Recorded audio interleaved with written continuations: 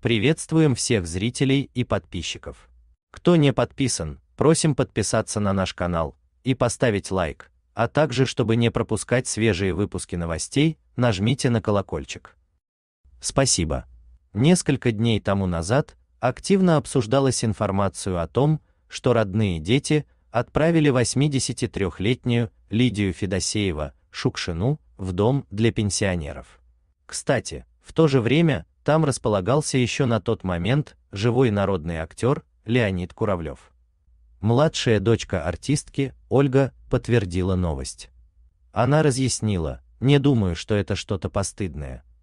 В моей матери есть возрастные болезни. Она должна располагаться под беспрестанным наблюдением, впрочем, близкие спихнули Лидию Николаевну в пансионат для пожилых людей не из добрых намерений.